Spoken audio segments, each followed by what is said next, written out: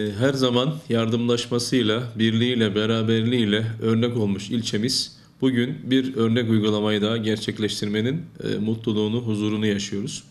Şöyle ki hacılarımızda mevcut e, bulunan Hacılar Sosyal Yardımlaşma ve Danışma Vakfı kanalıyla 260 ailemize 750 lira olmak üzere toplamda 195 bin lirayı tek tek adreslerine ulaştırmış bulunuyor vakfımız.